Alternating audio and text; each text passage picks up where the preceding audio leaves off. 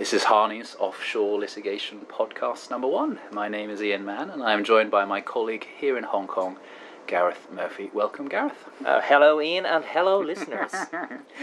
The topic is lessons learned from the fascinating recent shareholder case in the English High Court of Dinglis. Um, is that how you pronounce it? I hope so. I have to say, when I was first given a copy of the judgment, and once I got over the fact that it's 96 pages long, I know. What is going on? Modern judgments are getting just monstrous. uh, uh, it has its own index, which is always a, a, a bad sign. That's right. Uh, but once I got over that, the, the first question was, uh, how do you pronounce this uh, this name of this company and the name of the parties? Is it Dingles rhymes with shingles, or is it, as you've said, uh, rightly so, I believe, Dinglis? Perhaps you could tell us how, how you know that. Trust an Irishman to try and make it uh, rhyme with a place in Ireland. Um, but I have to say, I've got one over you. I actually emailed um, Daniel Lightman QC, Huh. who who is the who was the the silk representing the respondents, and I asked him the question just to get one over you. I asked him, "How do you pronounce it?" He said the name is pronounced Dinglis. They're a Cypriot family after all, aren't they? So, Absolutely. Anyway, um, that's the most important thing, so we don't look foolish. You know, Daniel Lightman's actually the son of Gavin Lightman, incredible family. But anyway, Did not know that. digress. Indeed. So, uh, what's this case all about? Well, I mean, firstly, I'd like to say the judge was Adam Johnson QC, sitting as Deputy High Court Yeah, Judge, and we refer to him as the judge Yeah, just yeah. for ease. But as he, as the judge so eloquently describes it, the entire background to this petition begins with a catastrophic falling out between members of the Dinglis family. Yeah, that sounds like all of our Asian disputes that lead to unfair prejudice claims in the BVI came out. Uh, yes, it certainly it certainly sounds familiar. I think it's fair to say. Um, so the, we don't need to get into the ins and outs of what caused that catastrophic fa- falling out, although that is obviously relevant and is set out in the judgment.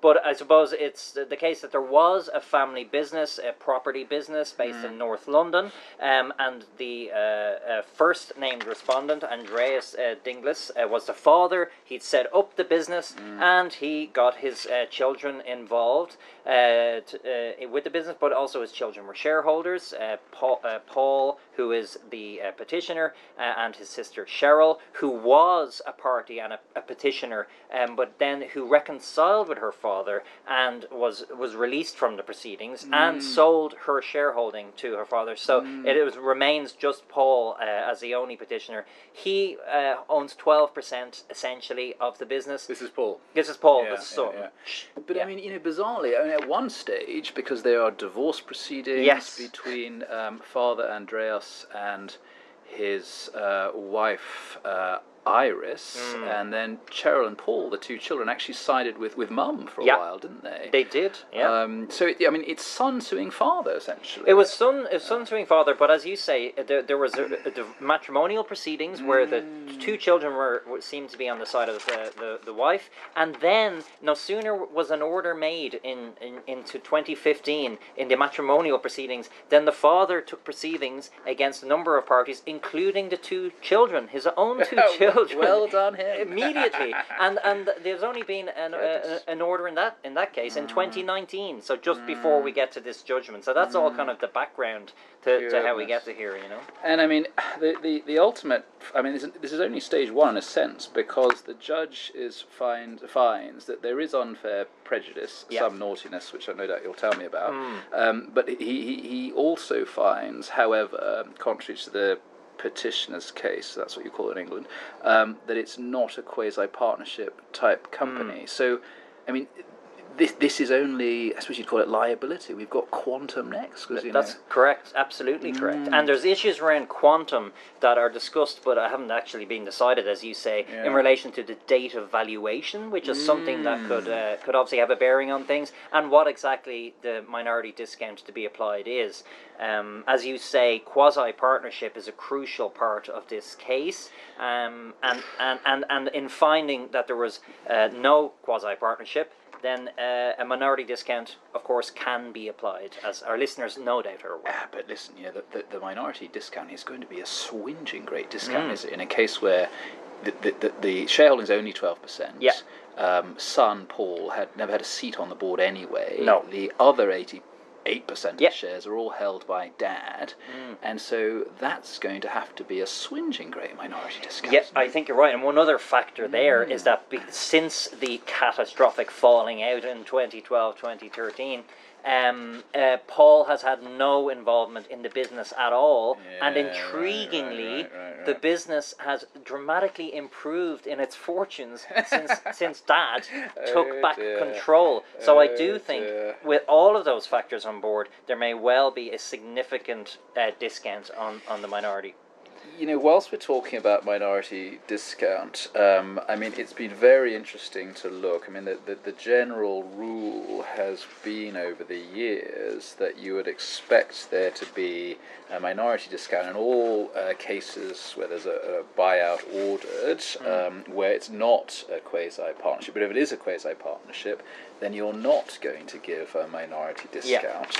And um, there's a there's an odd sort of part of the judgment where they sort of the judge seems to at at Daniel Lightman's behest seems to catch out um, the, the learned and famous uh, author and, and, and deputy judge Robin Hollington where he, he Robin seems to say things somewhat inconsistent in his book with with, with a, a decision that he himself was a, a judge in. Um, called Blue Index, which was a 2014. An interesting case. Yeah, yeah.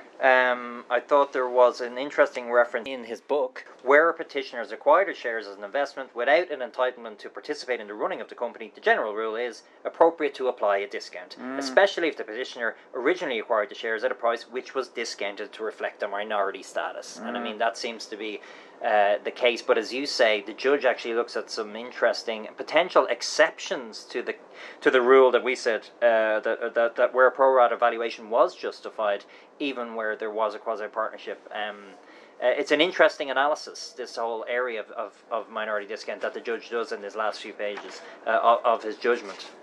I mean, um, uh, not settled yet. I mean, we, we need some sort of court of appeal Yeah, uh, decisions on this, Yeah. really, don't we? Yeah. Um, so, I mean, this is probably a whole podcast just to talk about minority Hmm. discount, but I, I was just very interested to see how O'Neill and Phillips is Hmm. very well summarised Yeah. by the, the, the judge as well as Ebrahimi and Westbourne galleries. Um, and I always, um, I, I can never understand why, you know, all, all these learned authors tell us that you must never categorize um, those categories uh, which might cause there to be a finding of, of, of just and uh, of, of, you know just and equitable winding up. But I, I have a bit of a theory that you can actually categorize those as, as five. I mean, the, the first one is always deadlock, yeah, illegality, loss of substratum, yeah. uh, if there's a quasi partnership company found, Yeah. and then oppression. Now, I just remember those. I just rattle them off because if you pull all that together, that's that that has an acronym. It's it's called DISCO. That's right. Absolutely, very very good. And there would certainly appear to be have been some uh, some some some shapes thrown about in this in this case, if you, if you pardon me using that expression. Um, I thought there really was an excellent. I agree with you. An excellent analysis of the the, the, the key judgments, uh, uh, O'Neill and Phillips in particular, Yeah. um, and and the difference between you know when when you have a and this I think is, is interesting where you have a clear understanding between the parties Mm. beforehand in terms of a quasi partnership, and where you just have a kind of an expectation that a Mm. party has, and while a party is entitled to an expectation, Well, it's not the same. Yeah, well, that, I mean, you're, you're, you're essentially talking about a contract that you know there's no basis for a bargain, and Yeah. this this you know we're warned, aren't we, Yeah. um, in O'Neill and Phillips by um, Lord Hoffmann that Yeah. you know be careful with his expression legitimate expectation, because just because one party wants it, in fact the case of O'Neill doesn't mean both parties have agreed. You've Oh. got to show an agreement and reliance. You know? absolutely. Um, Um, I, I think it's worth actually at this stage uh, of the podcast, perhaps just you know summarizing the findings and the issues that arose in this case, so that people can can uh, you know really get their teeth into this case themselves, because there's just so much in here. that Obviously, we just don't have time to talk about today.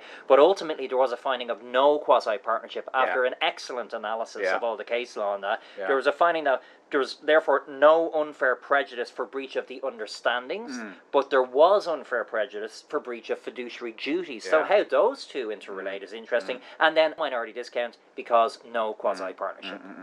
And Dad essentially wasn't looking after company money properly. I mean, Yes. yeah, absolutely. Yeah.